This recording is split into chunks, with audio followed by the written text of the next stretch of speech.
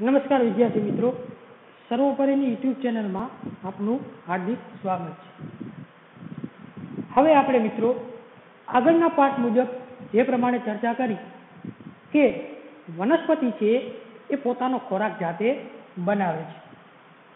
તો વનસ્પતિ કેવા પદાર્થોનો ઉપયોગ કરી અને પોતાનો ખોરાક જાતે બનાવે છે એ આપણે આગળના પાઠની અંદર ચર્ચા કરી હતી. તો હવે વનસ્પતિમાં પોષણના પ્રકાર. જે આપણે આગળના પાઠમાં જોયા કે પરાવલંબી અને સ્વાવલંબી. તો આજે આપણે વનસ્પતિની અંદર પોષણના કેટલાક અન્ય પ્રકારો વિશે આપણે ચર્ચા કરીશું. તો ચાલો જોઈએ આપણે વિદ્યાર્થી મિત્રો કે વનસ્પતિમાં પોષણના અન્ય પ્રકારો.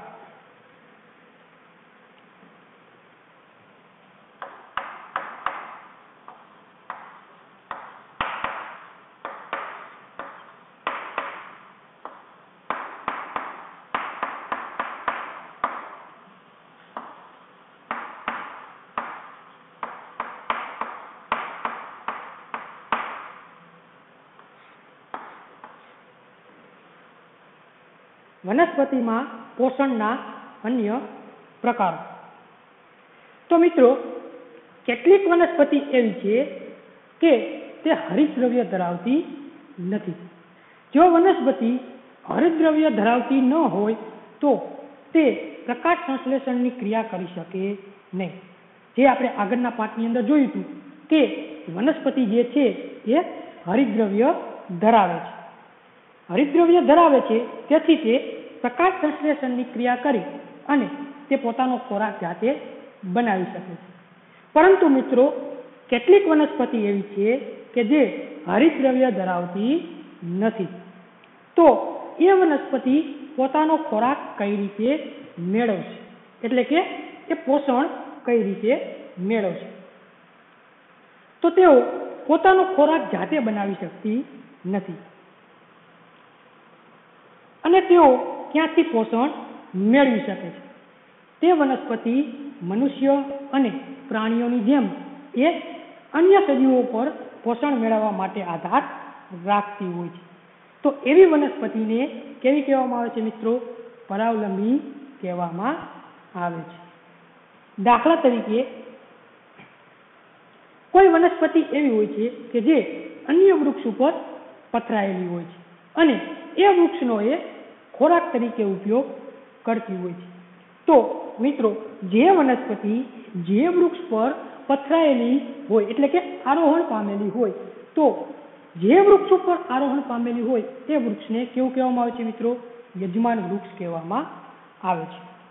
તો પહેલાં આપણે જોયું કે વનસ્પતિ છે એ હરિતદ્રવ્ય ધરાવતી નથી. જો હરિતદ્રવ્ય ધરાવતી ન હોય, તો એ પ્રકાશ સંશ્લેષણની ક્રિયા કરી શકે નહીં અને જો પ્રકાશ સંશ્લેષણની ક્રિયા ન થાય, તો તે પોતાનો ખોરાક જાતે બનાવી શકે નહીં.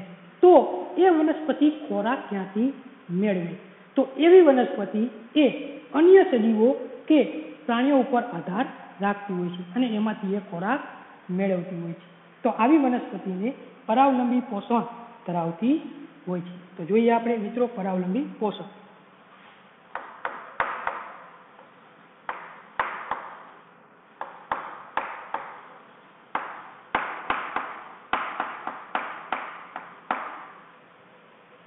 જે વનસ્પતિ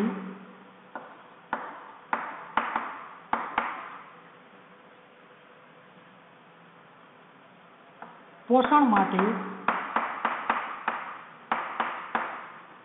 અન્ય સજીવો પર અન્ય વનસ્પતિ પર આધાર રાખે છે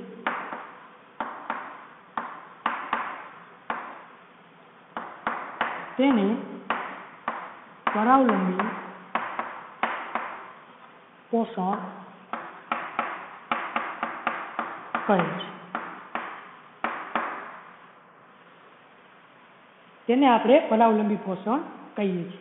તો આપણે ઉદાહરણ જોઈએ મિત્રો, કે એવી વનસ્પતિ હોય છે, વેલ જેવી વનસ્પતિ હોય છે, એ વેલ જેવી વનસ્પતિ અન્ય વૃક્ષ ઉપર ઘણી વખત પથરાયેલી આપણને જોવા મળતી હોય છે. તો એ વેલ વનસ્પતિ જે વૃક્ષ ઉપર પથરાયેલી હોય, એ વૃક્ષને યજમાન વૃક્ષ કહેવામાં આવે છે. મિત્રો, શું કહેવામાં આવે છે? યજમાન વૃક્ષ કહેવામાં આવે છે. ચાલો જોઈએ.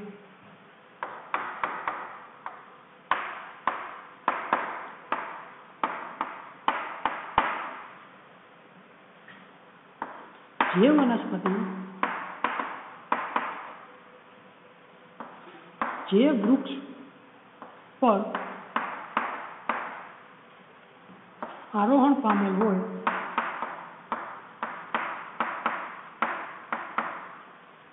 એટલે કે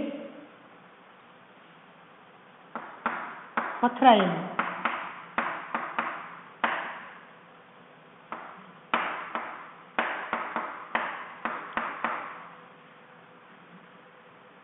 તે વૃક્ષને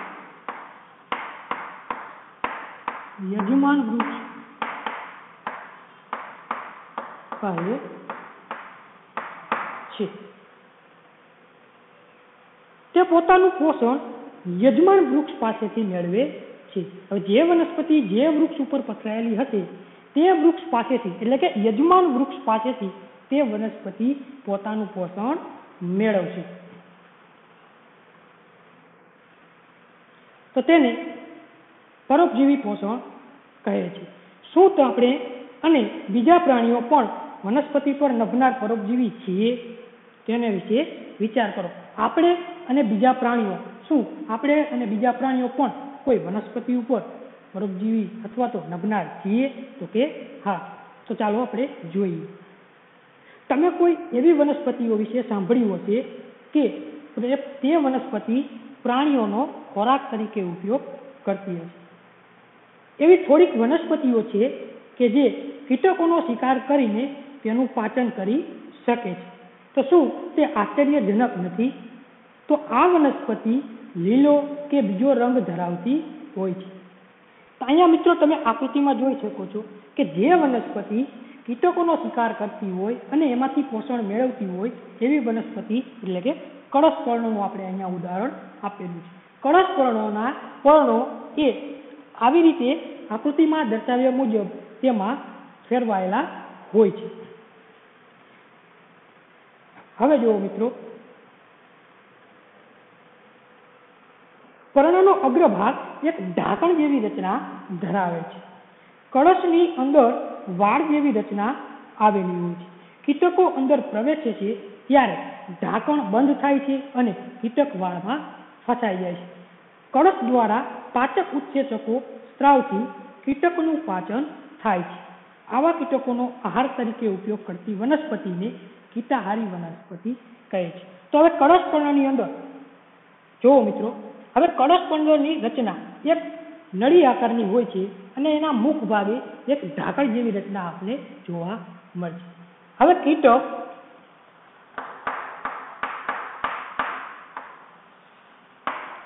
કીટક આ કળશ પર્ણની અંદર પ્રવેશ કરશે હવે કીટક કળશ પર્ણની અંદર પ્રવેશ કરશે ત્યારબાદ આ જે ઢાંકણ જેવી રચના છે, એ ઉપરનું મુખ બંધ થઈ જાય. બંધ થઈ જશે એટલે આ જે કીટક અંદર પ્રવેશ છે, એ અંદર ફસાઈ જશે. એની અંદર કીટક પસાર ફસાઈ જશે એટલે એની અંદર પાચક રસોનો સ્ત્રાવ થતો હોય છે. જે કીટક ફસાયેલું છે, એને પાચન કરવામાં મદદ કરે છે. તો આ રીતે આવી વનસ્પતિ પોતાનો પોષણ મેળવે છે, તો આવી વનસ્પતિને કેવી કહેવામાં આવે છે મિત્રો? કીટાહારી વનસ્પતિ કહેવામાં આવે છે.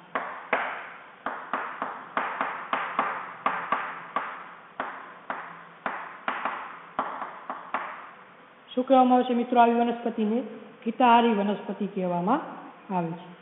શું તે શક્ય છે કે આવી વનસ્પતિ જે જમીનમાં ઉગે છે, તેનાથી જરૂરી પોષક તત્વો નહીં મેળવી શકે?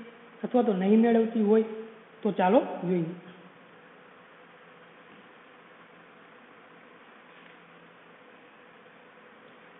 હવે એક પ્રશ્ન છે મિત્રો, કે જો કળશપર્ણ એ લીલું છે અને પ્રકાશ સંશ્લેષણ કરે છે, તો પછી શા માટે તેઓ કીટકોનો શિકાર કરી અને પોતાનું પોષણ મેળવે છે? ત્યાર પછીનો ટોપિક આવે છે મિત્રો આપણે, કે મૃતોપજીવીઓ.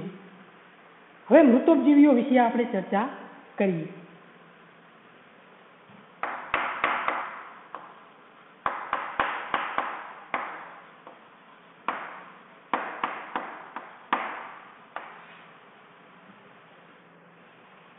મૃતોપજીવીઓ મિત્રો કોને કહેવાય? એના વિશે હવે આપણે ચર્ચા કરીએ. મૃતોપજીવીઓ એટલે શું? હવે મિત્રો, ઘણી વખત આપણે જોયું હશે કે વરસાદ વરસ્યા બાદ આપણે ગામમાં રહેતા હોય અથવા તો શહેરમાં રહેતા હોય તો. ઘણી એવી જગ્યાએ આપણે એક સફેદ કલરનું બિલાડીનો ટોપ આપણે જોયો હશે જેને શું કહેવામાં આવે છે મિત્રો? મશરૂમ કહેવામાં આવે છે. તમે શાક માર્કેટમાં મશરૂમના પેકેટ વેચાતા જોયા. તમે વર્ષા ઋતુમાં સડતા લાકડા ઉપર છત્રી અથવા ડાઘાયુક્ત પોચી રેતના આપણે જોવા મળતી હોય છે. તો ચાલો આપણે શોધીએ કે તેઓ કયા પ્રકારના પોષક તત્વો લે છે અને તે ક્યાંથી મેળવે છે? તો એક પ્રવૃત્તિ દ્વારા આપણે જોઈએ કે બ્રેડનો ટુકડો લો અને તેને પાણી દ્વારા ભીનો કરો. શું કરો મિત્રો? આપણે જે બ્રેડ આવે ને ખાવાની, એ બ્રેડનો ટુકડો લો અને એને પાણી દ્વારા ભીનો કરો. તેને હુફાળી અને ભેજવાળી જગ્યા પર બે ત્રણ દિવસ જ્યાં સુધી રૂવાટી જેવા ધબ્બા ન દેખાય, ત્યાં સુધી એને રાખી મૂકો. હવે આ ધબ્બા સફેદ, લીલા, કથાઈ કે બીજા અન્ય રંગના પણ હોઈ શકે છે. આ ધબ્બાને સૂક્ષ્મદર્શક યંત્ર વડે અથવા તો બિલોરી કાચ વડે એનું નિરીક્ષણ કરો. મોટા ભાગે તમને બ્રેડના ટુકડા ઉપર રૂ જેવા તાંતણા જેવી રચના જોવા મળશે. તો આ સજીવોને મિત્રો શું કહેવામાં આવે છે? ફૂગ કહેવામાં આવે છે. સમજાઈ ગયું મિત્રો? ફૂગ કોને કહેવાય? એક પ્રવૃત્તિ દ્વારા આપણે જોયું કે એક બ્રેડનો ટુકડો લો, એને પાણી વડે ભીનો કરો. હવે ભીનો કર્યા બાદ એને બે ત્રણ દિવસ સુધી ભેજવાળી જગ્યા ઉપર રાખી મૂકો. પણ ક્યાં સુધી રાખવું હતું? કે જ્યાં સુધી એના ઉપર રૂવાટી જેવા ધબ્બા જોવા ન મળે, ત્યાં સુધી એને રાખી મૂકો. અને આ ધબ્બા કેવા રંગના હોઈ શકે છે? લીલા, કથાઈ કે સફેદ અથવા તો અન્ય રંગના પણ હોઈ શકે છે. ત્યારબાદ તેને સૂક્ષ્મદર્શક યંત્ર વડે એનું નિરીક્ષણ કરો. અથવા તો બિલોરી કાચ વડે એનું નિરીક્ષણ કરો. તો એની અંદર તમને મિત્રો રૂ જેવા સાંકડાની રચના જોવા મળે છે. એને શું કહેવામાં આવે છે મિત્રો?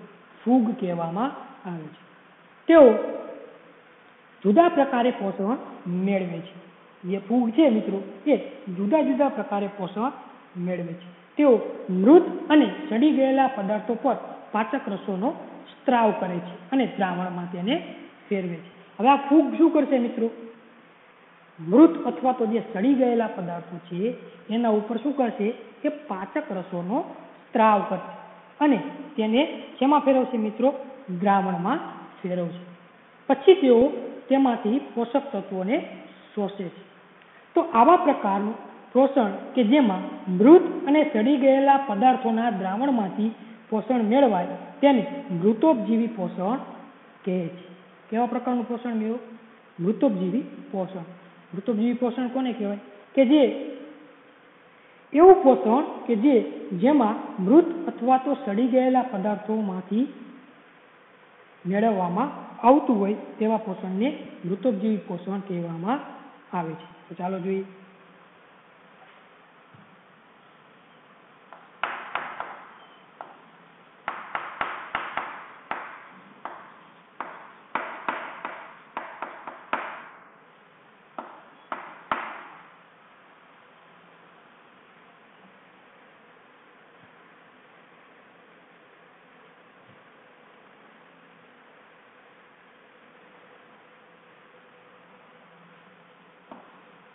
એવા પ્રકારનું પોષણ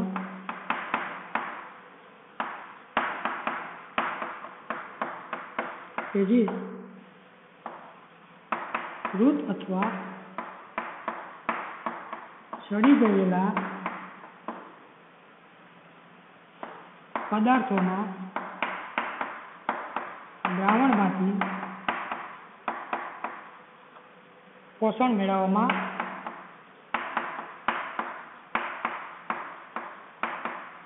આવે છે. તેને મૃતોપજીવી પોષણ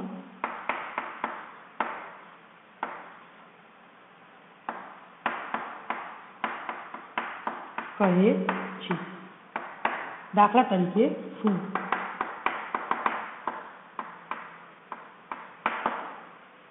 શું આવશે મિત્રો? દાખલા તરીકે ફૂગ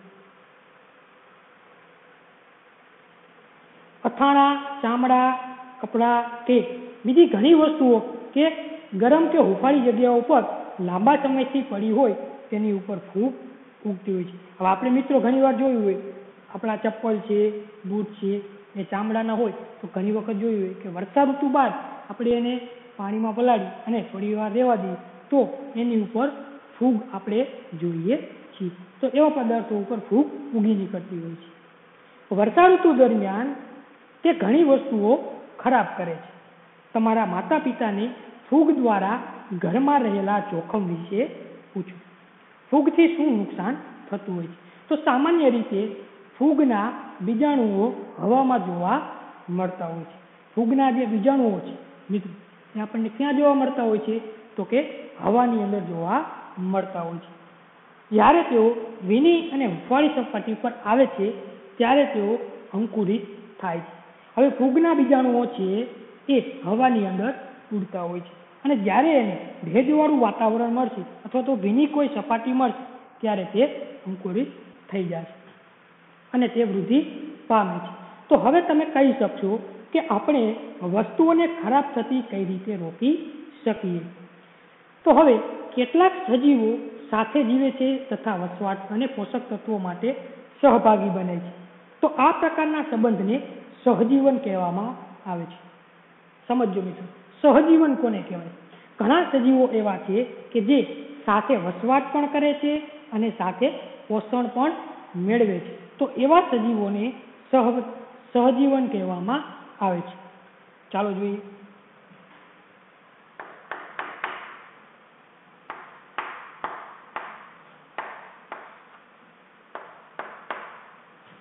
એવા સજીવો કે તે વસવાટ અને પોષક તત્વો માટે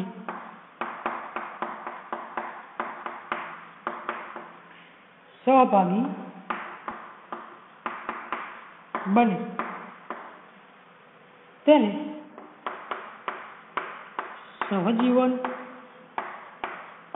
કહેવામાં આવે છે. એવા સજીવો મિત્રો કે જે વસવાટ અને પોષક તત્વો માટે સહભાગી બને તેવા સજીવોને સહજીવન કહેવામાં આવે છે. દાખલા તરીકે ફૂગ એ વનસ્પતિના મૂળ પર જોવા મળે છે. વૃક્ષ એ ફૂગને પોષક તત્વો પૂરા પાડે છે. બદલામાં ફૂગ પાસેથી જમીનમાંથી પાણી અને પોષક તત્વો મેળવવા માટે મદદ લે છે. તો આ પ્રકારનું જોડાણ વૃક્ષ માટે ખૂબ જ જરૂરી છે.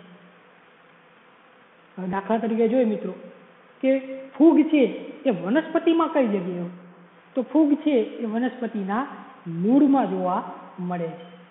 વનસ્પતિમાં મૂળમાં રહેલી જે ફૂગ છે, પોષણ ક્યાંથી મેળવશે તો કે વનસ્પતિના મૂળમાં રહેલી ફૂગ છે એ વનસ્પતિમાંથી પોષક તત્વો મેળવે છે. તો સામે વનસ્પતિ છે, એ ફૂગ પાસે કઈ રીતે મદદ કરશે? તો કે વનસ્પતિ છે, એ જમીનમાંથી પાણી, ખનિજ તત્વોનું શોષણ કરવા માટે એ ફૂગ પાસેથી મદદ લે છે.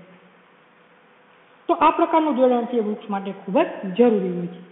લાઇકેન જેવા સજીવોમાં હરિદ્રવ્ય ધરાવતી લીલ અને ફૂગ સાથે જોવા મળે છે. લાઇકેન જે સજીવ છે મિત્રો, એની અંદર હરિદ્રવ્ય ધરાવતી લીલ અને ફૂગ એ તમને બંને સાથે જોવા મળે છે. ફૂગ, વસવાટ, પાણી અને ખનિજ તત્વો લીલને આપે છે. ફૂગ છે એ વસવાટ, પાણી અને ખનિજ તત્વો એ તમને કોને આપે છે? તો કે લીલને આપે છે. અને તેના બદલામાં લીલ એ પ્રકાશ વિશ્લેષણ દ્વારા બનેલ ખોરાક આપે છે. આપણે જોયું મિત્રો કે લાઇકેનમાં લાઇકેન ગ્રામનું જે સજીવ છે, એની અંદર તમને ફૂગ અને લીલ બંને સાથે જોવા મળશે.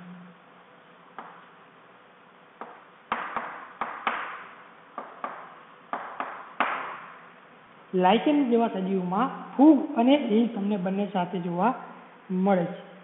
ફૂગ છે એ શું કરશે? તો કે ફૂગ છે વસવાટ, પાણી અને ખનિજ તત્વો કોને આપે છે? લીલને આપે છે. વસવાટ પાણી અને ખનિજ તત્વો. આ બધી વસ્તુ કોને આપે છે? તો કે લીલને આપે છે. અને લીલ પાસેથી ફૂગ શું મેળવશે તો કે લીલ જે પ્રકાશ સંશ્લેષણની ક્રિયા દ્વારા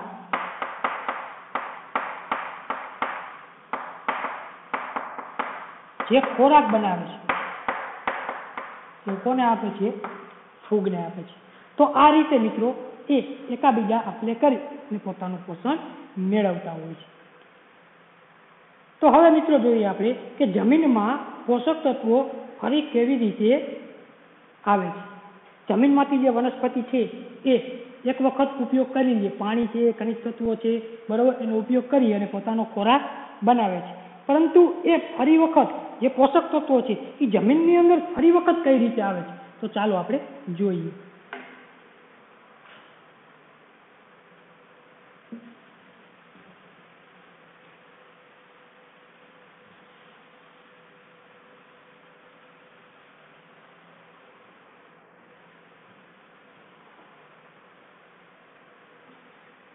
ચાલો જોઈએ મિત્રો, કે જમીનની અંદર વનસ્પતિએ પોષક તત્વોનું શોષણ કર્યું. પરંતુ એ પોષક તત્વો ફરી વખત જમીનની અંદર કઈ રીતે આવે છે? તેના વિશે આપણે ચર્ચા કરીએ. તો શું તમે ક્યારે ખેડૂતને ખેતરમાં છાણિયું, ખાતર અથવા રાસાયણિક ખાતર નાખતા જોયા છે? હવે ઘણી વખત આપણે જોતા હોય મિત્રો કે જે લોકો ખેતી કરતા હોય, ખેડૂતો ખેતી કરે છે, તો એ લોકો ખેતરની અંદર છાણિયું, ખાતર અથવા તો કોઈ રાસાયણિક ખાતર ખેતરની અંદર અવારનવાર નાખતા હોય છે. અથવા માળીને બગીચામાં ઘાસવાળી ભૂમિ અથવા તો કુંડામાં તેનો ઉપયોગ કરતા જોયો હશે બગીચાનો માળી હોય તો એ બગીચાની અંદર પણ ઘણી વખત આ ખાતરનો ઉપયોગ કરતો હોય છે. તો શું તમે જાણો છો કે તે જમીનમાં શા માટે ઉમેરવામાં આવે છે? મિત્રો, તમને ખ્યાલ છે કે આ ખાતર જમીનની અંદર શા માટે ઉમેરવામાં આવતું હોય છે? તો આ ખાતર નાખવાથી જમીનની અંદર પોષક તત્વોનું પ્રમાણ વધતું હોય એટલે કે પોષક તત્વો મળતા હોય છે. તમે શીખી ગયા કે વનસ્પતિ જમીનમાંથી પાણી અને ખનિજ તત્વોનું શોષણ કરે છે. તેથી તેમની માત્રા જમીનમાં ઘટતી જાય છે. હવે વનસ્પતિ પ્રકાશ સંશ્લેષણની ક્રિયા કરવા એટલે કે પોતાનો ખોરાક કરવા એ જમીનમાંથી ખનિજ તત્વો, પાણી આ વગેરે પદાર્થોનું એ શોષણ કરશે. પણ શોષણ કરશે તો એનો જથ્થામાં શું થશે મિત્રો? ઘટાડો થશે. હવે ઘટાડો થશે તો ફરી વખત એને કઈ રીતે મેળવવામાં આવે? તો આ રીતે મિત્રો ખેતર, ખેતરની અંદર ખેડૂતો ખાતર નાખી અને પોષક તત્વો એ ઉમેરવામાં આવતા હોય છે. છાણિયા ખાતર કે રાસાયણિક ખાતરમાં નાઇટ્રોજન, પોટેશિયમ અને ફોસ્ફરસ જેવા તત્વો રહેલા હોય છે. ખાતરમાં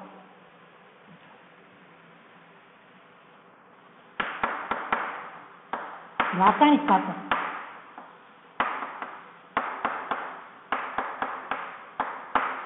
કે છાણિયું ખાતર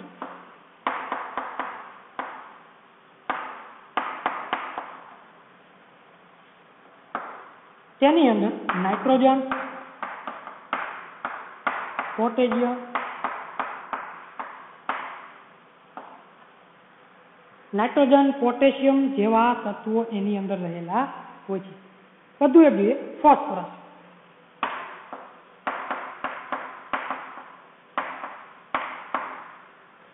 રાસાયણિક ખાતર હોય કે પછી છાણિયું ખાતર હોય, તો તેની અંદર નાઇટ્રોજન, પોટેશિયમ અથવા તો ફોસ્ફરસ જેવા પોષક તત્વો અંદર રહેલા હોય છે. જમીનને સમૃદ્ધ બનાવવા માટે આવા પોષક તત્વો સમયાંતરે જમીનમાં ઉમેરવામાં આવે છે. જમીનનું શું વધારવા માટે મિત્રો? જમીનને ફળદ્રુપ બનાવવા સમૃદ્ધ બનાવવા માટે સમયાંતરે ખેડૂત મિત્રો એ આવા તત્વોને જમીનમાં ઉમેરવામાં આવે છે.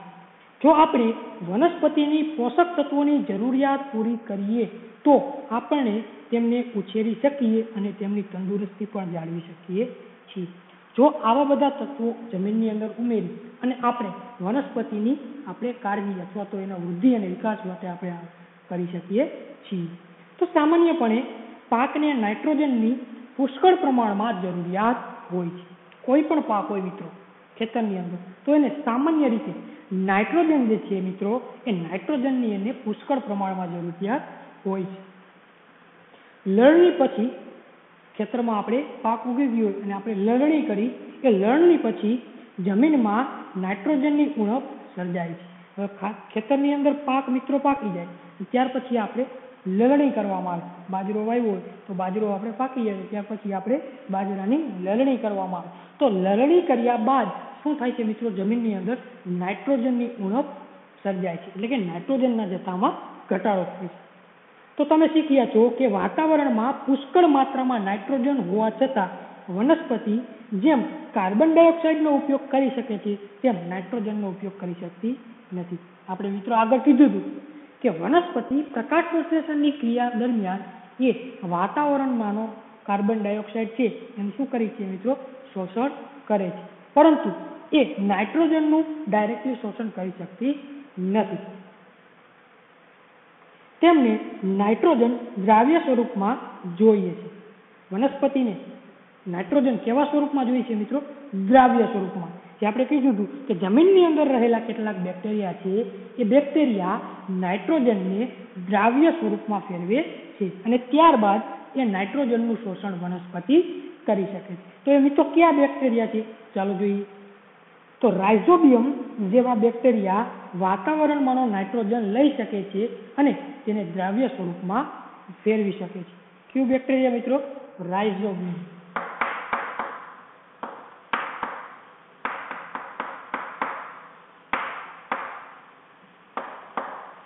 Rhizobium bacteria. જે શું કરે છે કે વાતાવરણમાંનું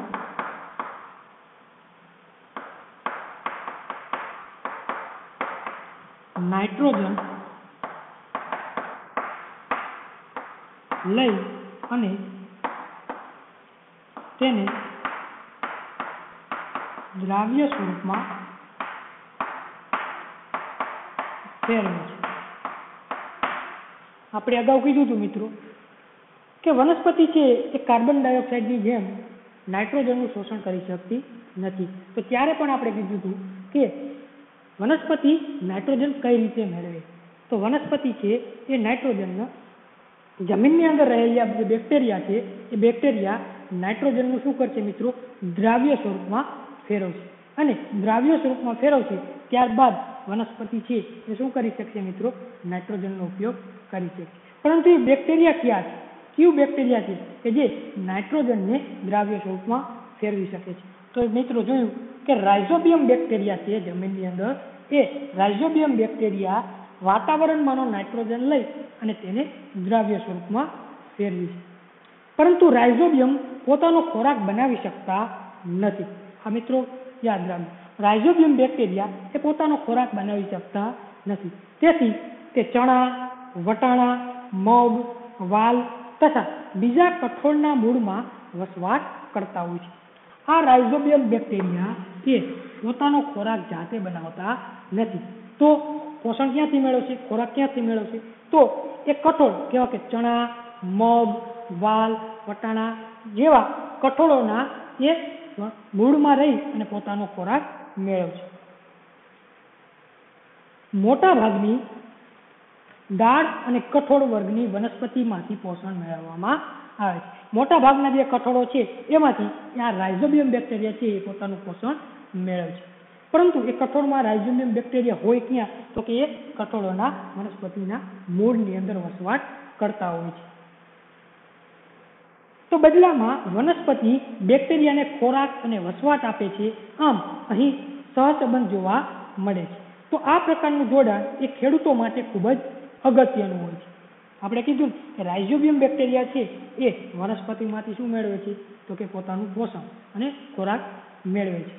તો સામે બદલામાં વનસ્પતિ એ બેક્ટેરિયાને ખોરાક અને વસવાટ પણ પૂરો પાડે છે. તો અહીંયા આપણે તમને મિત્રો સહસંબંધ જોવા મળે છે.